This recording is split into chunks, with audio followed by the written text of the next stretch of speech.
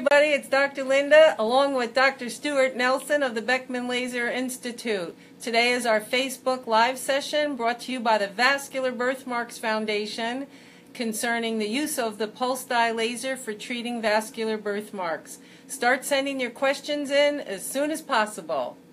And welcome to our, our Facebook Live session. I'm not seeing it. It says it's live. It says live. If some, if anybody sees us, oh, here we go.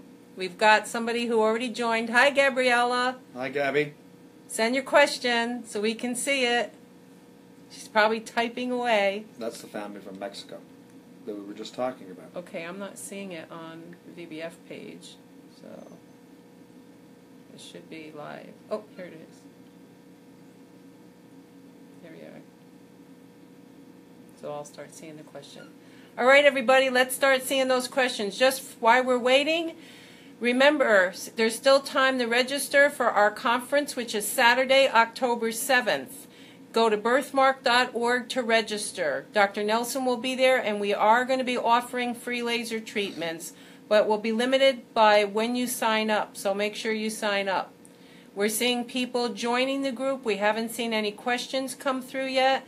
So make sure you're sending your submitting your questions as soon as you log in. Okay, we have a lot of people joining. Let's see some questions.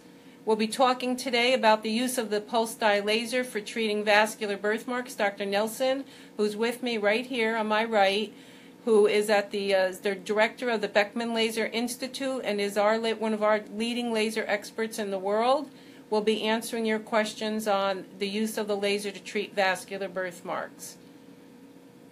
Uh, I've seen we have many people who've joined. We just need to see some of your questions appear. I see six comments. Treat vascular birthmarks. Uh, I've seen. Okay, so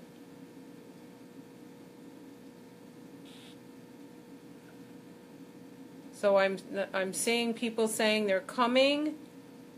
Um, Alonso has a slight infection and has a scar. Can it be treated with laser? I don't know why we're not seeing these questions on here. Uh, we see who the viewers are, but we're not seeing the questions. But um, so that I'll, I'll let you know that Gabriela Castellanos once says uh, uh, Alonso has a, a slight scar. Can he be treated? Absolutely. Using the fractional laser in combination with the pulse dye laser, it shouldn't be a problem to remove any skin textural change uh, after perhaps maybe one to three treatments with the fractional laser. Yeah, I don't know why we're not seeing the questions on here. What is the recovery process after the laser treatment, and how often is it recommended to have a treatment? My two week old was born with port wine. If it's a two week old, at our institution, we're treating those children aggressively every two to four weeks and typically those children will be bruised for about five to seven days after each laser treatment. Jody Lee says, what is the recommended number of treatments before maintenance phase for a V3 port wine stain? Well, V3 port wine stains can be very, very difficult, particularly the areas that are on the lateral side of the, the head and neck. But I would probably go for at least probably five to ten treatments at least at the minimum uh, before uh, going to a maintenance type of program. So once again, um, I don't know why we're not seeing the questions on our larger screen, but I am getting them on my phone. Uh, Gabrielle wants to know what is a V3 port wine stain? Your head and neck is divided. The your forehead is the first branch of the fifth cranial nerve. We call that V1. This your is cheek V1, is V V2. is V2, and the mandible uh, upper neck part is V3. So when we're talking about the V3 distribution of a port wine stain, we're talking about the skin surface area that corresponds to the third branch of the fifth cranial nerve. All right, so Chell wants to know, can you treat gums, and how do you treat the gum area? You can treat the gums as long as you're not in the area immediately adjacent to the nerve root of the tooth because that also contains the blood supply. And if you use the pulse dye laser over the nerve root, you can actually destroy the blood supply to the tooth. So you have to stay away from the immediate uh, nerve root area of the tooth. Jesse wants to know how you protect the eye area when you're treating it. Uh, we put a metallic contact lens into the patient's orbit uh, so that the orbit is completely covered. Um, Megan says her daughter has hemihypertrophy, which causes her right leg to be much larger. Um, it's her port wine stain from hip to the toe. Will this cause laser treatment to be less successful? Well, before contemplating any type of laser treatment, your daughter needs to be worked up for Klippel-Trenaunay syndrome to make sure that she doesn't have an underlying problem uh, that not only is the port wine stain, but also includes a congenital absence of the lymphatic as well as the deep venous system. So before laser treatment, I would recommend that your child have a magnetic resonance angiogram of her entire involved extremity to rule out underlying Klippel-Trenaunay syndrome. Mel wants to know how hard is the cheek to treat. My seven-month-old has a port wine covering a lot of her left cheek. The cheek responds, but the most difficult area will be the, those sites closer to the midline. Uh, the lateral cheek responds the best. Uh, the medial cheek will respond to laser treatment, uh, but it tends to require more treatments as compared to the lateral side of the face. Um, Jackson Sam says hi to Dr. Nelson. Hi, Julia and Levy. And um, Seattle is saying hello. Uh, Whitney wants to know, are you familiar with the Ellipse Selective Waveband technology? I know it's an IPL. I saw good results online, but seems like PDL is the way to go. We have an, uh, an IPL source here at Beckman, but I don't use it for the treatment of port wine stains. Uh, the laser is a much better choice because you're actually taking the yellow light, which is specifically what you need to target the hemoglobin. Uh, when you're using an IPL, you're wasting a lot of the, the light that's coming out of the laser uh, the light that's coming out of the device. An IPL is not actually a, a laser, but I'm not going to go into the differences between an IPL and a laser. But suffice it to say, the laser is a much more efficient way of doing the treatment. Okay, Emily says her, Eileen says her 10 year old daughter has bilateral V1, V3, and has had over 50 lasers. She has some lightening, but has hypertrophy on her upper lip and some blebs. Will continued lasers help prevent further hypertrophy? The laser treatment will help prevent uh, the hypertrophy, and it will also help in flatten and smoothen out those blebs. Uh, I'm not a, a, dentist, but I would recommend that they consult with Dr. David Darrow at the Medical College of Virginia, who will actually be here at the conference in October uh, to get an opinion about how whether or not the treatment could be applied to the gums as well. Um, Jennifer Arnold says she's had many treatments as a child, but insurance won't cover. Will my port wine continue to get worse? Worried about hypertrophy. Jennifer, write to me too, Dr. Linda at birthmark.org, and we can help you with insurance, but I'll let Dr. Nelson answer the rest. Will it continue to get worse? She's it will worried. continue to get worse. It's slowly over time. The blood vessels do dilate. So, Jennifer, unfortunately, you're going to notice that slowly and insidiously over time your port wine stain is going to get darker and the skin textural change will develop with probably the development of blebs or nodules uh, and other types of skin textural changes. So I would encourage you to seek the treatment as soon as possible uh, to prevent that sequelae from happening. Hi, hello from Australia. Um, Krasimir says he's treating his port wine stain on his forehead with a V-beam. It seems like it's fading, but it's turning brown. Can you suggest what laser I should use? Well, if you're down there down under, you're probably getting a lot of Australian sunshine. And the reason your skin is looking brown is because of what we call post inflammatory hyperpigmentation, which is a fancy medical word which means that the yellow light is also absorbed by melanin in the upper layers of the skin. And so the melanocytes are actually being activated by the laser during the treatment. So the PIH, or post-inflammatory hyperpigmentation, will resolve on its own. Uh, you can treat it treat it medically with hydroquinone, but at this point, I would simply recommend to avoid all ultraviolet light exposure, wear a hat at all times as well as a sunscreen, and it should resolve spontaneously on its own. Uh, Mel says he's from New Zealand and he's told we don't treat until one years old. I'm hoping for a high success rate despite this. Uh, I've been to New Zealand. I know there is some. There is a Dr. Paul Legrand. Uh, I believe he's in Auckland. Uh, uh I've, I've, communicated or shared several patients with him, uh, but we're trying to, through Linda and VBF, get the word out that the earlier you treat these infants and young children, the better the results you get with the laser treatment. Um, Tiff from Australia says she has a three-week-old with the stain. Can I ask what's the best age to start? And the best treatment gap, I believe. She has a V2.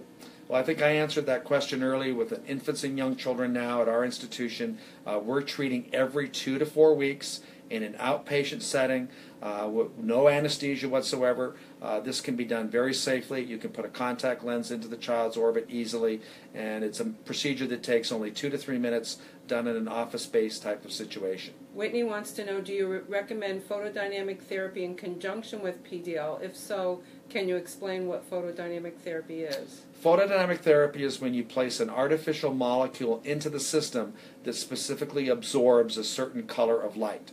Uh, classically, it's done with porphyrin derivatives, which absorb red light. Uh, we did a study here. I did one many, many years ago, and my colleague Kristen Kelly uh, did a study several years ago, which really didn't show that photodynamic therapy worked very well for port wine stains. So currently, we're not advocating the use of photodynamic therapy or PDT to treat port wine stains.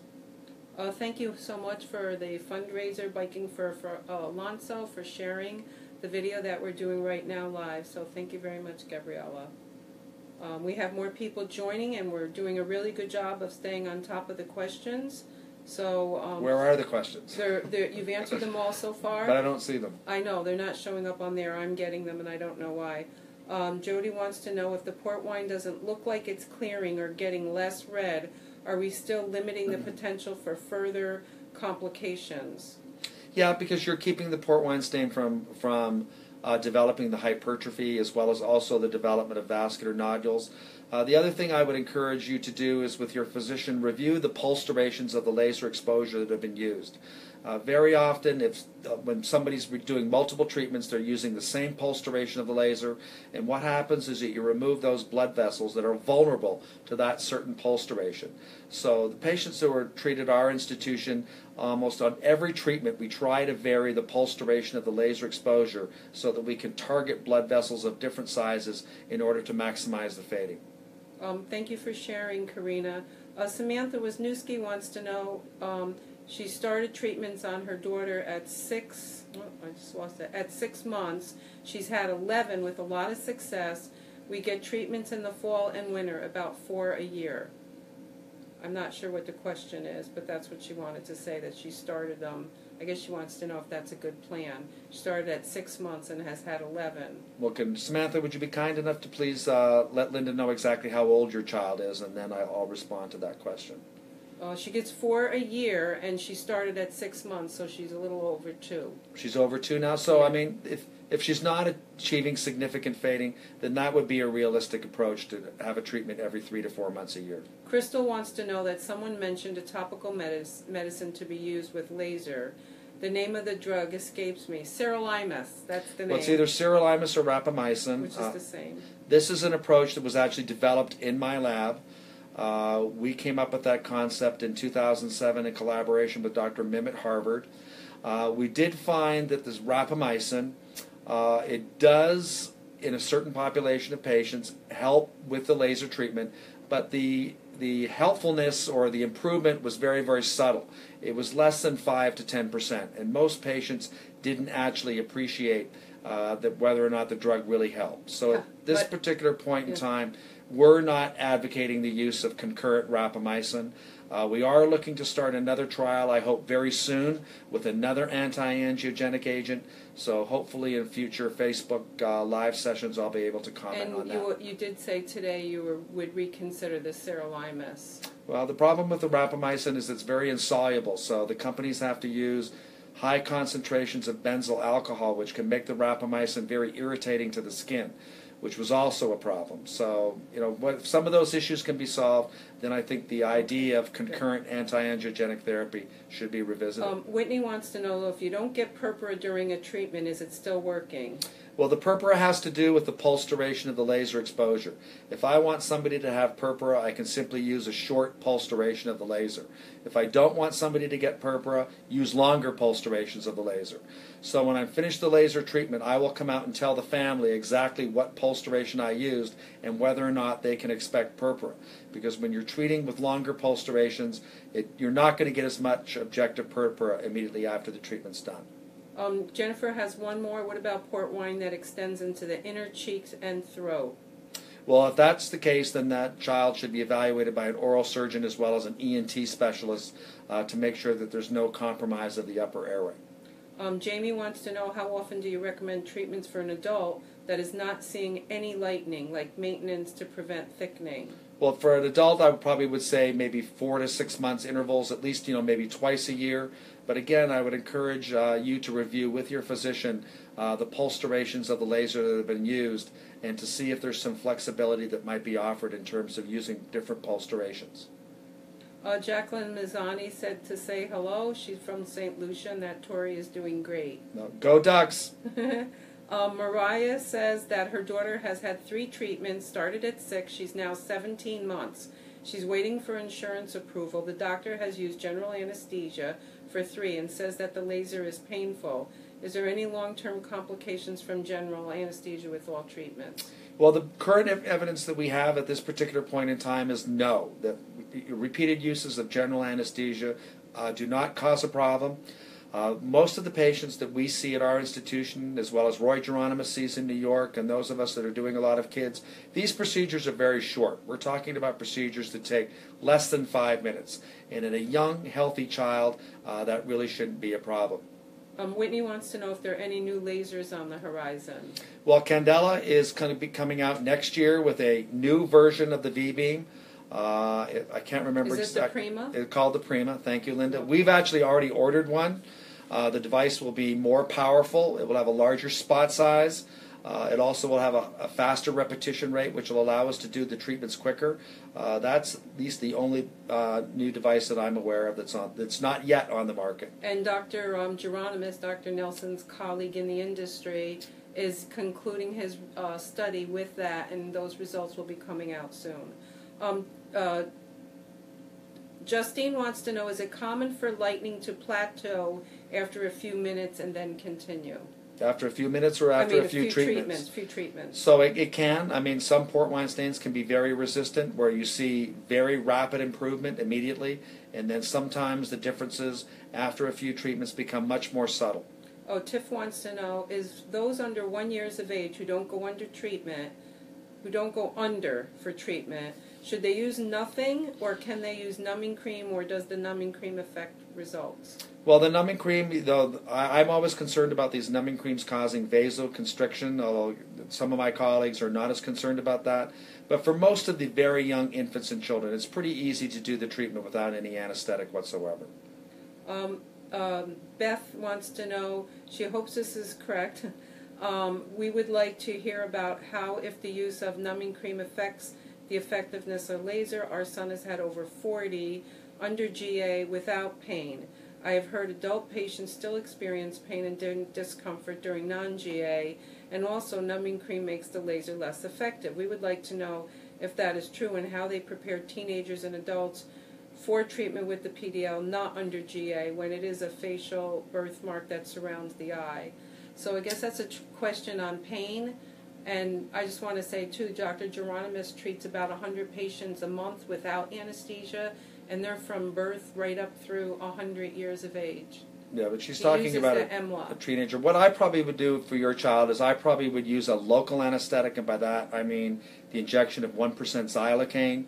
Uh, if it's around the eye, you can do a regional nerve block. You can get the inferior orbital nerve here, the supratrochlear nerve here. Uh, you can get most of the face here with an injection in front of the ear. So probably the best thing for your child would be a regional nerve block if they don't want to be put under anesthesia. The results with the topical anesthetics can be much less predictable. Jennifer says her daughter did four treatments, four months to one year. She was stopped it because they didn't want to put her under to control treatments. Do we need to start treatments again um, in a certain time frame, or can we wait until she's four or five? Is there any harm? I think that's about recurrence, Yeah, right? I would I would encourage you to stick with the treatments, Jennifer, and, and have your daughter uh, retreated, restart the treatment as soon as possible. Well, hello, Mimi Anderson from Europe. We know it's in the middle of the night there, though. So Thank you for staying thank up. Thank you for staying up and sending all your questions in. Her first one is on the latest on photodynamic therapy and PDL combo trials and wider implementation. The tri- combos. The P, I'm sorry, the what trials? The um, PD, the photodynamic therapy and PDL combo. Okay, well that I'm not familiar with, so I don't want to say because I just I'll have to look that up after we're done with the uh, Facebook Live and see. But I'm not aware of people doing combination treatments with PDL and photodynamic therapy. Um, Megan wants to know if the P- port wine stain and hypertrophy, if you see them together often. Well, we see them as a late sequelae, not in infants and young children. Uh, but if the port wine stains are particularly thick or they are deep into the underlying soft tissue, muscle, and bone, hypertrophy can be a sequelae of port wine stains.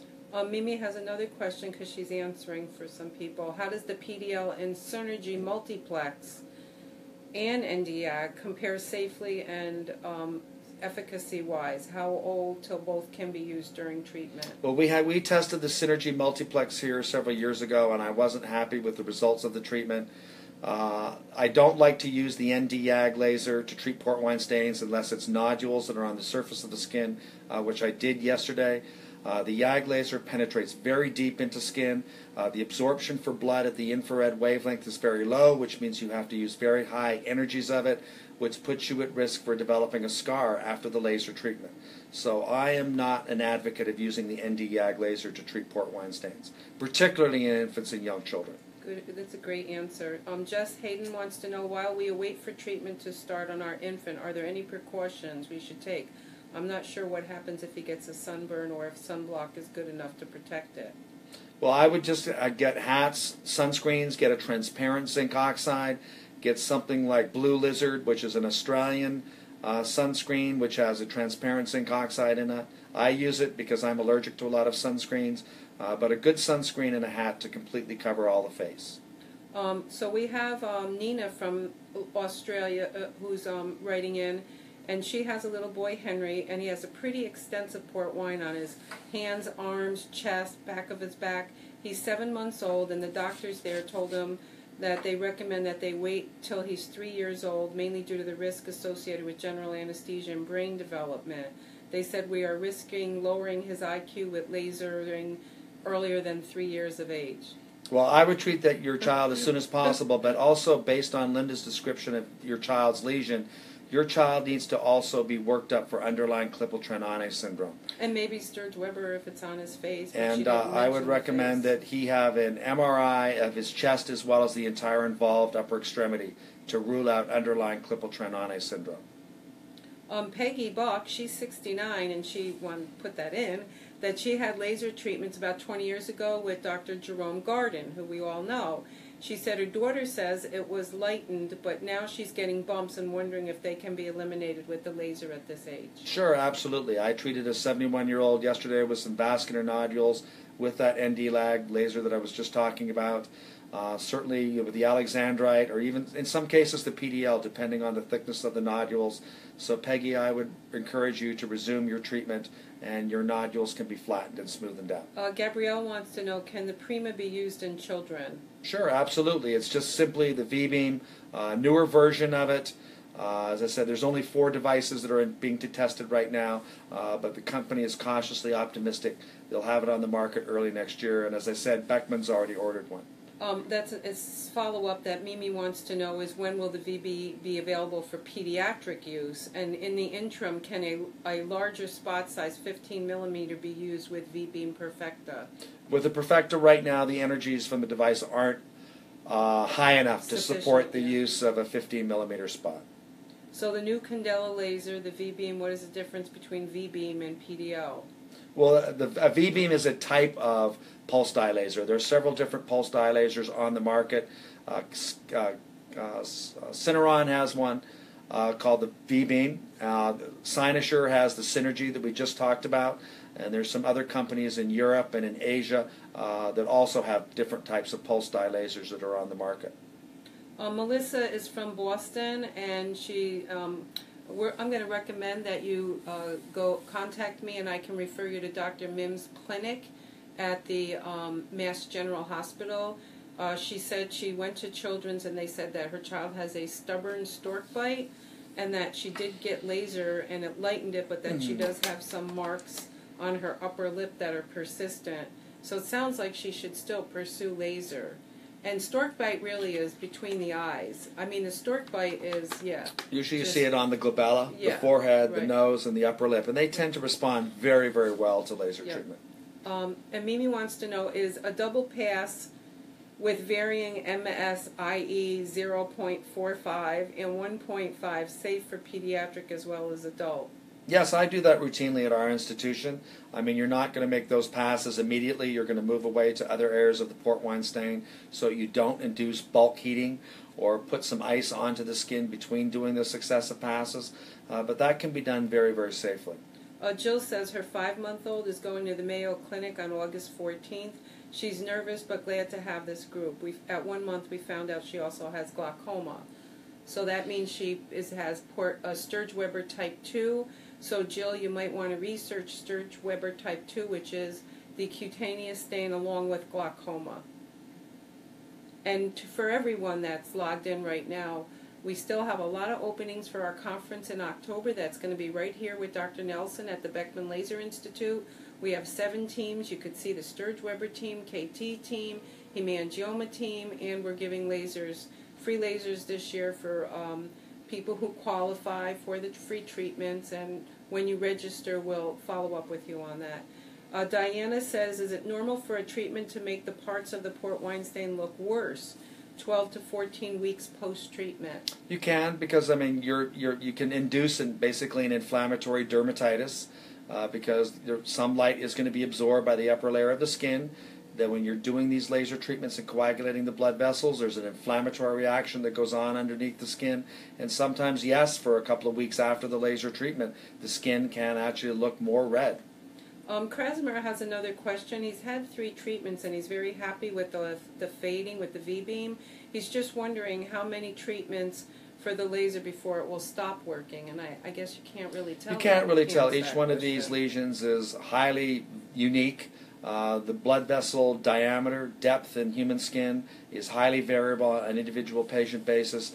So it's often very, very difficult to give families an estimate of exactly how many treatments are going to be required. Um, Mimi wants to know the difference in using either an ultrasound, an MRI, or an MRA on extensive port wines of the extremities. Well, these are these are imaging techniques. They're not they're not laser treatment. I mean, ultrasound is ultrasound. MRI, MRA is magnetic resonance angiography Well, I think and she imaging. wants to know which one of those will give you a better definitive diagnosis if it is like KT. Well, it would be the magnetic resonance angiogram by far. Um, Jen McNerney said, "Hi, Dr. Nelson. Chloe misses you." And Hi, just Pete. Asked Hi, when Pete. we Say were hi to flying PJ. back for laser. She wants to know when they're going to come back. Well, she's just busy with her- a couple of children. So tell her to just make an appointment, right? Like, We're happy anytime. You're we're happy Yeah. to see you and PJ Jen. Uh, Diana says, "Is it normal for treatments to make parts of the port wine look worse?" Oh yeah, she said that. She says specifically the edges surrounding the spots look very red, darker than the original. Yeah, as I said, you can definitely induce an inflammatory dermatitis uh, when you're doing these repeated treatments, particularly when you're doing it aggressively. It's not unusual for the skin in certain areas to look a little bit redder. So the woman who asked you if she should continue and you recommended she does said, "Does it become more resistant as she ages? Is that why you want her to continue treatment?" Well, I, she, I thought, asked me about the blebs that she was having on the surface of the skin, which, you know, if, if those aren't treated, they're going to get worse. Uh, she may develop spontaneous bleeding from those blebs. So even if you don't want to have your entire port wine stain treated, Peggy, I would encourage you to at least get those nodules or blebs flattened and smoothened out. Okay, so Mimi said they were told uh, sometimes the lip regrows after surgical redu- reduction or debulking. That can certainly can occur. Uh, those are questions that might be better addressed by Milton Waner and Greg Levitin, who do those types of procedures. I don't, uh, but you still have got a, a hypervascular lip as a result of the port wine stain. So it would not surprise me that somebody over the course of the life of their lifetime might have to have two or perhaps three lip reduction surgeries. And remember that the, what we believe that controls us is the nervous system. So even if you correct the lip, the deficiency that's in the nervous system will persist. Um, okay, uh, Ashley wants to know this is, but do you do you treat lymphatic vascular malformations? Uh, I don't specifically because lasers are not a good uh, treatment for lymphatic malformations. Most of those cases, although they come to Beckman, we make the diagnosis. Uh, we refer them principally to our radiology colleagues, our interventional radiology colleagues, and most of those patients are being treated with combined uh, intralesional injections of sclerotherapy agents. And also, remarkably, a lot of those patients are now being placed on Cialis And Viagra, sildenafil, those have been shown. Sirolimus too. Sirolimus as well, those drugs have definitely been shown to decrease the lymphatic drainage, particularly in the superficial areas of the skin. Uh, so most of those patients are now being managed medically as well as also by interventional radiology, not Um, by laser. Mimi wants to know after you've exhausted the laser treatments and it's plateaued, what are the alternatives for a resistant port wine stain? Well, just to go to a maintenance type of approach so that the port wine stain doesn't uh, insidiously get darker with time, as well as develop the vascular nodules or the blebs. Um, Mimi wants to know about KTP subcutaneously administered for adults. Well, the KTP, KTP stands for potassium titanyl phosphate. Uh, that's a green wavelength laser. Uh, it's a device uh, that's been that's being manufactured by some other com- uh, companies. Uh, I have not found the KTP laser to be as helpful in terms of its ability to treat port wine stains as compared to the pulse dye laser. Jesse wants to know if you know of any ped derms that you recommend in North Carolina. Uh, not off the top of my head, we but have um, Dr. Certainly. yeah, Dr. Sean Sean Freeman is a ped ENT, and Dr. Um, Darrow isn't far. And then in South Carolina is Dr. Marcelo Hochman. But if you go to the VBF website at birthmark.org, you can see our physician list. And I would encourage you to contact the departments of dermatology at the Duke University School of Medicine, Oh, Duke- as Duke well does. as UNC School of Medicine departments of Yeah. dermatology. Duke does have someone. Uh, Ashley says her son has the lymphatic with possibility of K- KT, and he did. This doctor did use a laser, but he now sees Dr. Yakes for ethanol injections. Would the laser be any, any would help him anyway in any possibility? Well, the problem with KT is you've got a congenital absence of the deep venous system, which means the blood's being shunted to the superficial veins, which is what causes the, the port wine stain. So I do, I do these cases in collaboration with my interventional radiologists. If possible, I like my interventional radiologist to close off that shunting because it definitely makes the laser treatment much more effective. So if the radiologist, Dr. Yakes, is able to cut off those perforators, then the laser treatment definitely will be much better, and it would be something that I would recommend you pursue. Hi, Peggy Nelson from Linda and your husband Stuart. um, uh, Portia asked if uh, the sirolimus can actually reduce the lip. I have not heard of that. That had, uh, but it is a chemotherapy agent, so I guess it's possible, right? I, I am not aware of it not reducing, aware of it but I mean, all this whole field of the use of anti-angiogenic agents is still very, Very new, new. very early, and in my opinion, probably sirolimus is not going to be the agent that we're going to be using. I think there are much better choices which disrupt that whole biochemical pathway of cell proliferation and vascular perforation at a higher level. Um, okay, thank you. So Maria said her port, um, daughter has a port wine on her forehead, eye, and scalp. She's 17 months. Was told she doesn't need an MRI or neurologist consult unless she shows symptoms. Is that correct? Well, we typically don't. I mean, we counsel patients in that age group when they have a V1 dermatomal port wine stain. We tell them they're at risk. Uh, about 15 to 20 percent of people who have V1 port wine stains will have underlying Sturge-Weber syndrome. So I tell the family, you know, we don't necessarily jump immediately to the MRI, MRA because if Anne Comi were here, who's an expert in Sturge-Weber from Hopkins, she'll tell you that the MRI, MRA can be normal up until the age of one year. So what we tell the families is if you know if there's a concern from the pediatrician that the child isn't meeting their their milestones, if there's concerns about development, or if there is a seizure or there is some other neurological development, then at that point we'll aggressively pursue a workup for Sturge-Weber syndrome. Uh, Gabrielle wants to know how many non-fading treatments do you need to have been considered maintenance? I always say two probably, or three. yeah, I probably I would say at least three treatments. Yeah, three. So if you see no clearance af it, with three consecutive treatments, then you're technically in maintenance. Yes. Right. Tiffany wants to know once you get the stain to the level of clearance you want, how often after that do you have to get maintenance? I would say you know at least two to three times a year probably. Um, okay, so Peggy just posted to someone that she also had glaucoma but not found until six years and the retina detached. Hooray for modern medicine. That's right. Michelle says her daughter has a port wine over 60% of her body. We got through eight treatments before she had a horrible reaction that looked like third degree burns, and they talked about putting her in the burn unit. It had been a few years. Should we try again? You know, absolutely. I mean, it would be good to see what the medical records of what that, that particular treatment was and what may have gone wrong because then that's certainly unusual. I mean, a third degree burn by definition is, is, is not just some scabbing or blistering, which occasionally you can see after a pulse dye laser treatment. I mean, you're talking about burn injury to underlying soft tissue. So, So Michelle, you can send your information to Dr. Nelson directly. We've been posting his email, or it should be scrolling. I haven't seen it, but it's birthmark.org backslash Dr. Nelson. Or Nelson, um, somebody will correct me on that, but you'll see it in this chain or this string of where to post to him. Uh, Lindsay says her son has an extensive port wine stain on his leg. Uh, it's light and patchy. It's darker on his butt cheeks. Some days his butt cheeks looks a little swollen. Others normal. He his limbs have measured the same, but he seems to swell the first two weeks after treatment. well, that's certainly, you know, I would be concerned about underlying Klippel-Trenaunay syndrome. Uh, that's a con- not only you have the port wine stain as we've discussed, you have an absence of the deep venous system, but also the lymphatic system is also poorly developed, and that could be an explanation as to why he's having that prolonged swelling in his lower extremity after the laser treatment.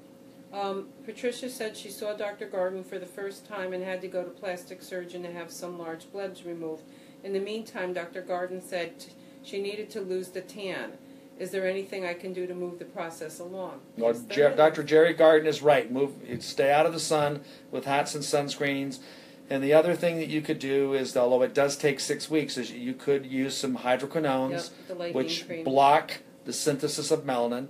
So the pigment you have in your skin right now is going to take about six weeks to move up to the surface of the skin and shed off, but it will prevent the synthesis of new pigment. But the most important thing is stay out of the sun.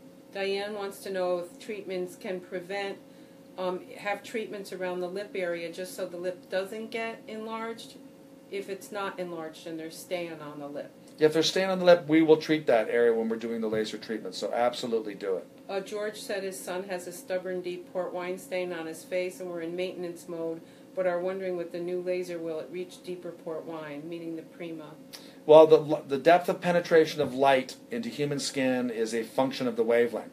So the wavelength of the Prima is going to be the same as the wave, wavelength of the current V beam. So one would expect from an optical point of view that no, the light from that laser is not necessarily going to go deeper into the skin. Um, what is the chance of a port wine stain to develop blebs or thicken? Like, do we have any data on that? Well, Milton Waner did publish something uh, on, the, on on patients who were not treated. I, you know, we can certainly look that up. But the incidence was high. like I it was thought it quite was high. around thirty percent, wasn't It's it? quite Something high. like that. But Milt, the Weiner group published a paper on that about a, about one to two years ago, and it should be available in Google. Um, Jeff Foster said his PD derm saw their daughter's mark on her leg and feels that it's a vascular capillary malformation, not necessarily a port wine stain. It's the same thing. The difference being the former was a sort of one-time malformation, whereas the latter port wine is ongoing. That that's not correct. That's not correct. The, No. ca- the, the current ISSVA classification is a capillary vascular malformation. Port wine, port wine. yeah, port wine stain is basically a slang term, and, we, you know, I, and when I dictate my operative reports now, I write capillary vascular malformation because it actually ha- does have an ICD-10 code, which helps with the insurance billing. So, port wine stain is probably a term that we should probably, hopefully, over the course of the next couple of years, get rid of that term because it's not uh, Well, I don't think anatomically. ever will, but Well, it's not correct in I terms know. of medically I know. medical I know. terminology. It's outdated. but it's it's a historical. It's historical, but uh, we need to Um, move on. so um, Diane wants to know during maintenance, should she return to treatments only when you see darkening? No, I would encourage you to to probably do it at least twi- twice a year. Um, Barbara said she's been asked to stop treatments um, on her one month old after four months of treating on propranolol. Doesn't that seem too soon? I thought ideally the child should be maintained one year of propranolol until proliferative phase has ended. Well, we're talking about hemangioma, and typically at our institution, we will keep those children on the propranolol for probably at least one to two months after we're completely sure that the proliferative phase is, is, is resolved, and then we will gradually withdraw the propranolol over a, a prolonged period of time, typically the rule of thumb is 25% of the time that the child was on the propranolol. So if your child was on propranolol for a year, you would gradually withdraw the drug over a course of about three months, but not abruptly stop it. Oh, this is a great question from Leah Carter. Can the laser be used on a rapidly involuting congenital hemangioma that is still noticeable? Absolutely, absolutely. Great question. Absolutely. In fact, it'll help stimulate that Yes. hemangioma to involute even quicker. Great question. Crystal wants to know they've been using fentanyl via intranasal for pain relief on our baby here in Australia prior to PDL, as well as numbing cream. It's being used on teenagers as well. We use intranasal fentanyl in our infants and young children routinely for pain management. Um, thank you. That's a great question. Oh, Barbara said, correction, I've been asked to stop treatment on my six month old after four months of treatment on propranolol. Well, the question is: Is the is the hemangioma still in the proliferative phase, or is there concern that it's in the proliferative phase? And also, also, where is the where is the hemangioma? If it's on the nose or in the parotid area, those are noted areas where you can see resistance and recurrence. So, I mean, you know, you're, I There's just a don't lot know of enough factors, details yeah. You'd that to they're going see it. into this. But here's a good rule of thumb. Once you taper, if it's too soon, it will rebound. If it doesn't rebound, you may be, it may be good to go off. But six months sounds awful It early does to sound me. early because that's the peak of proliferation. I mean, most. I mean, the proliferative phase classically can occur up till eight to fourteen months. So that's t- removing the propranolol at age six months does sound a little bit early to me. So Jody wants to know if people with KTS can benefit from physical therapy for lymphedema, like the manual lymph drainage and compression stockings. Well, the most important thing that I found, and this was actually recommended to me by Marty Mihm, was swimming. Get in the pool, swim laps, get in a, in a some kind of a pool, and just move your legs and take that advantage of uh, the muscular contractions in your leg for pumping out that lymphedema. And Marty Mihm told me that t- 10 years ago, and that is still the best treatment for lymphedema uh, for a KTS patient that I'm aware Of the of. extremities, yep. Um, Mimi says Sturge Weber risk for a typical veto glaucoma test at three months was clear. That it can still occur. It can still occur, and so I mean, if for, I, we recommend that children be tested annually uh, for their glaucoma, even if the first test is initially negative. Okay, I just want to correct that it's the, the email for Dr. Nelson is birthmark.org backslash Nelson, N E L S O N. Uh, Parto wants to know will the laser, how much will the laser reduce the thickening of the lip? Like, how much, what percentage would It's you get? if it, if the child has already got hypertrophy of, of the lip, it's very very doubtful that the laser will be helpful. In fact, that's a child that I would recommend consider having surgical excision. or an adult? because not only I mean you've got the dilated blood vessels, but you've also got a thickened soft tissue, and the laser is just not going to be helpful for that. That child needs to be referred uh, for surgical consultation. Or doc- or adult, I'm not, if, okay. So Nikki wants to know, how often do you recommend laser treatments for the best results? Well, if it's in infant and young children, where as I said earlier, we're doing it every two to four weeks. We'd like to get those children as young as possible. Uh, Lori, Laurel said she, her doctor used to see a Dr. Rubin in D.C., but she resigned two months ago from Children's National, so they're unable to replace Dr. Rubin. Um, she doesn't think her daughter's birthmark is a port wine stain. It's more like a CM, ACN syndrome, meaning maybe cutis marmorata. But the doctor did the MRI, that was the time, and it ruled it out um, and said it's a port wine. I guess, Laurel, why don't you just email that picture to Dr. Nelson at the email address that we provided, birthmark.org backslash Nelson. Let him have a look at it, and he'll be able to tell you more, correct? Yeah, I know Iris Rubin very, very well. I did not know that she resigned from the National Children's Medical Center, but in the D.C. area where you are, you have Dr. Bernie Cohen at Johns Hopkins, a professor of pediatric dermatology. I would highly recommend that you have your child evaluated by Dr. Cohen. Um, Lauren um, asked, can you discuss the use of PDL on the lip and the gums? Well, we can. You can certainly treat if the port wine stain involves the lip and the gum. You can certainly treat those areas with the pulse dye laser. But if you're working on the buccal mucosa, or you're working on the gum where you have teeth, you've got to be careful not to use the PDL around the nerve root because that nerve root is very vascular, and there have been reports of people infarcting or destroying the blood supply to the tooth itself. So you cannot be using Im- immediately inferior or superior, depending on whether it's the upper or lower teeth. Uh, Donna, Dana Alchi wants to know, do you move on to using other lasers on a stubborn stain in infants or toddlers, or just move on to maintenance when you're, you know? Primarily, we move on to maintenance because I have not found the Alexandrite laser to be particularly helpful in infants and young children, although I will use it for nodules or blebs. Um, Abby said, as per your previous answer, once my one-year-old goes into maintenance mode, she's had 20 treatments so far. For the rest of her life, she will have. Will she have to have two to three treatments a year? I mean, as we sit here, July 19th, 2017, I mean, that's probably the standard of where we are right now. But who knows with with lasers in the future? We just have to all know. Oh, she w- it was CM AVM syndrome. So just again, Laurel, send that to Dr. Nelson. Can you give me a time check on your watch, Dr. Nelson? My watch says 6:44 p.m. Five forty. There's six. We started at Six- six forty-four. 6:44. Okay, so we That'd have. be very unique if we can go back Sorry. in time. Sorry, I'm on New York time, so I'm not even on New York time. Um, just wanted to check in, so we have about 15 more minutes. Um, if you treat the lip before six months, how much chance is there for the lip to, to grow? Well, it, it depends on how deep into the underlying soft tissue the blood vessels actually extend. Uh, but most of those children, if you can treat them as young as possible, you have the best opportunity to prevent the lip hypertrophy from developing. Um, Jeff said, if not present at birth, when would you blend or, or thickening begin to be noticeable? Well, it can happen at any time, but usually this is something that happens. bleb, the bleb. Oh, I saw bleb or thickening. I'm yeah, sorry. Yeah. Uh, blebs tend to Either not one. not to occur until people are 20 or 30 years of age.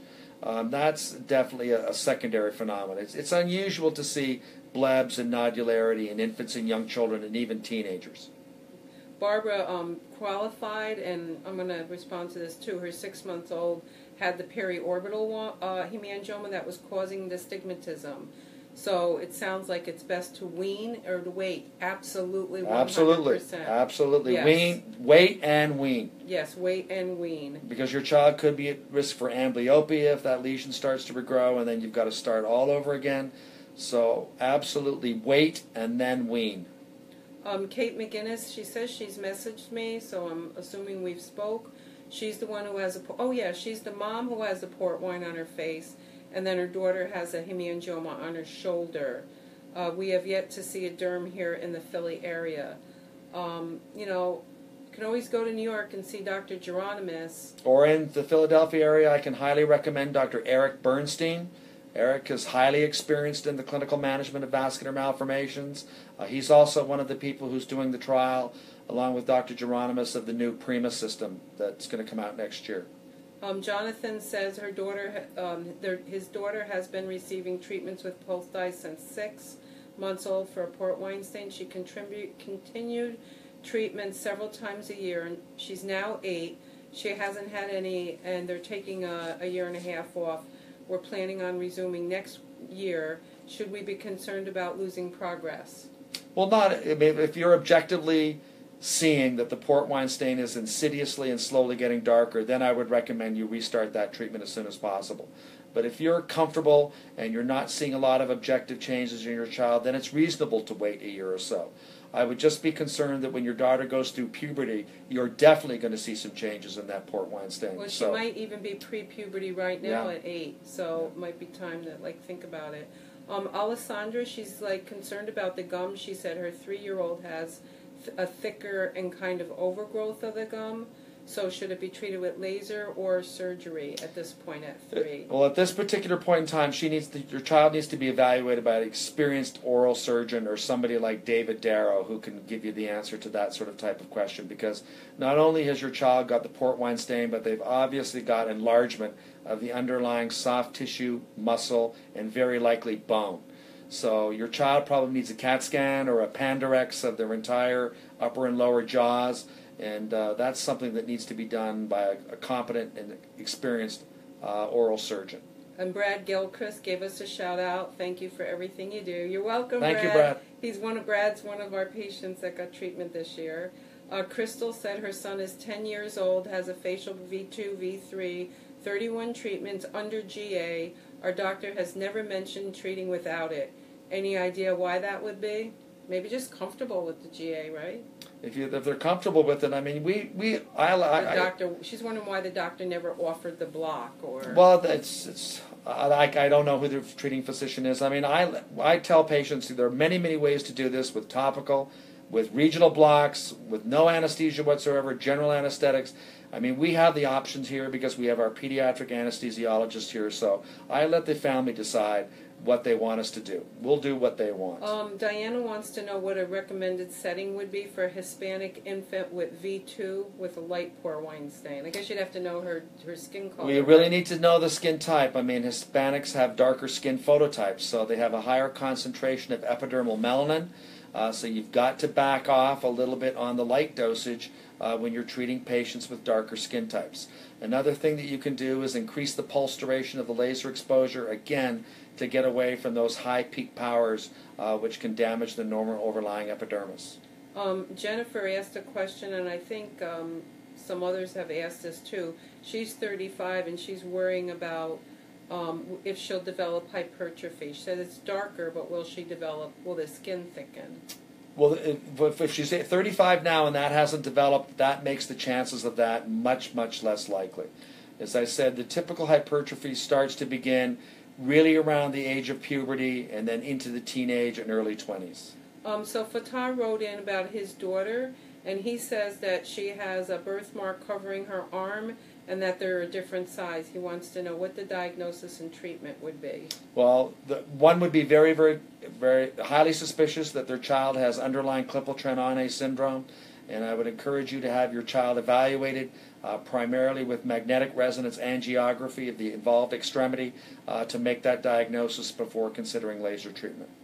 Um, so Laurel just kind of qualified what she said that um, Dr. Rubin said it was a port wine stain.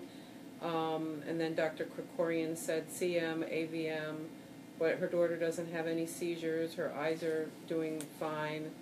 Um, See Dr. Bernard Cohen at Johns Hopkins. Bern, no, Bernstein. Bernard Oh, oh, Cohen. yeah. We're talking Oh, yeah, John Buddy Bernstein's yeah, in yeah. Philadelphia, but Um, she's in right, the DC right. area. Mariah said, "Can you explain a little more about the sun in port wine? Do they need to be completely covered? The port wine."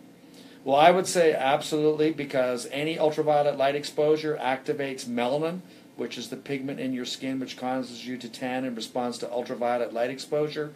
Uh, the epidermal melanin is superior in the skin above the port wine stain.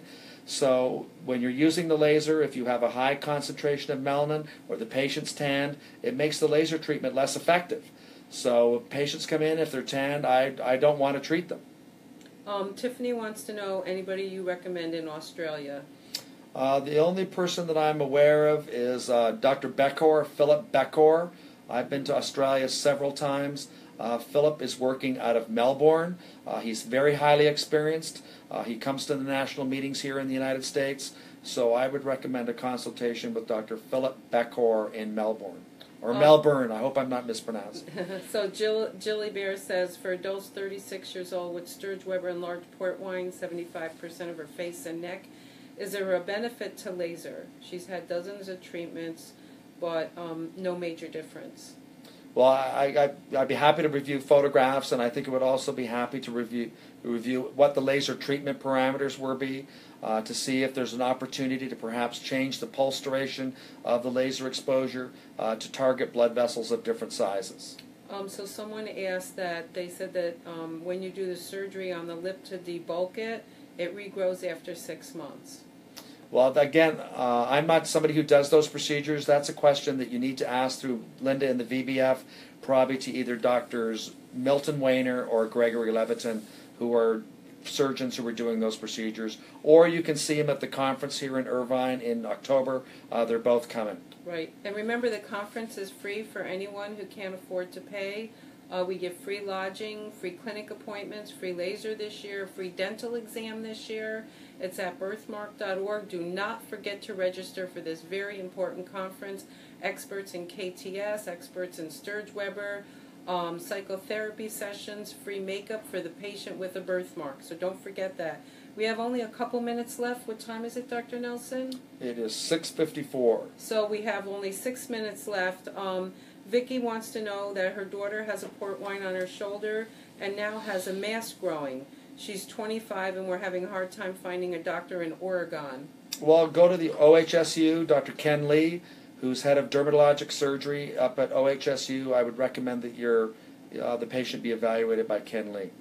Um, Lindsay said her doctor is offering nitrous oxide for comfort, and his nine month old son is getting harder to hold. Is this safe for him? Now we do that for a lot. Of, a lot of the children don't like the smell of the anesthetic agents, so one of the ways to help alleviate that is to put in a mixture of, of nitrous oxide. Uh, one of my anesthesiology colleagues actually told me that the nitrous oxide actually improves the absorption of the anesthetic agent. So there can be several reasons uh, where the use of nitrous oxide uh, can actually be helpful. Okay, only a couple more. So Ashley has a 15 month old and um, they're not lasering the area around the hair. She's worried that that will thicken. It's not. Treated. It can thicken, but, but the problem is if you air if you treat an area, a hair bearing area, uh, the light from the laser can also be absorbed by the hair follicle, and there's about a 20 to 25 percent chance uh, that you'll induce permanent alopecia. So what I tell the families is we will stay away from the hairline, and later on we can talk about it if the family's willing to shave the head later, or if they're willing to accept the risk of 20, 20 to 25 percent permanent alopecia. Uh, Katie, um, the doctor that trained with Dr. Geronemus that's in Texas that we recommend is Dr. Paul Friedman. He's on the VBF website at birthmark.org. Uh, Leah, he's in Houston. Or he's in Houston, right, thank you. Leah Bradley said she's 30. She has lymphangiomas on her abdomen, 25 surgeries, sclerotherapies. If there's any new lasers out, that would be able to help her. I don't really Probably so. not. As I said, somebody asked me about lymphatic malformations earlier. I would recommend you uh, talk to the interventional radiologist about sclerosing the underlying lymphatic malformation, and then also serious consideration be given to concurrent medical therapy with either Cialis, Viagra, or also sirolimus or rapamycin. Um, so to try to get a few more in, Katie, a hemangioma has to be removed if it's distorting the tissue, if it's obstructing vision or airway or ulcerating. Um, you can send me pictures and I can forward them on to Dr. Waner. Daphne, she has a 14 week old that's had two treatments at settings of 0.45 ms, 6.5 to 7.5 joules, CM2, 7 millimeter spot. There's hardly any purpura. Does this mean settings are too low and that treatment is less effective? Well, in that age group, I probably would have started with a little bit of a longer pulse duration, probably the one and a half millisecond pulse duration. Uh, but with not having seen photographs or examined the patient, it's difficult for me to say what exactly uh, the treatment parameters will I use. But typically for infants and young children, uh, we're using the one and a half millisecond pulse duration to start. Okay, a quick one. Uh, uh Virginia's daughter has a port wine on her forehead and scalp. Should she get an MRI? Well, she has about a 20% chance of having Sturge-Weber syndrome. So as long as they understand what the risks are. She should certainly be evaluated by a neurologist.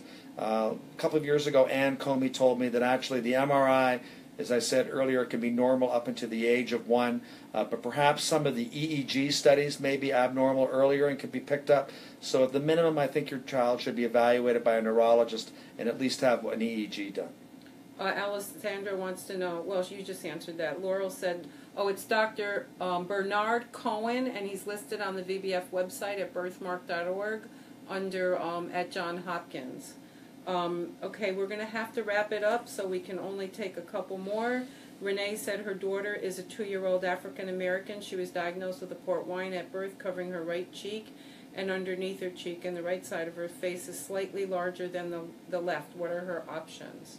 Well, I'd like to see photographs or, of your child because I mean it would be unusual to have a port wine stain already at the age of two causing hypertrophy. I mean, I I think your child they might want to look a little bit closer to make sure there isn't something underlying this, like perhaps an underlying venous malformation. Uh, I think your child probably I would recommend have some type of imaging study to rule out some kind of underlying vascular malformation. Okay, so our last question, Crystal wants to know how you can tell if the baby has port wine on the gum. You can see it. You I tell the moms to put a flashlight in there because you don't think to look at the roof of the mouth or around the gums. Um, I want to thank you all for tuning in today. I want to especially thank Dr. Nelson. I'll be back in November uh, out here in California.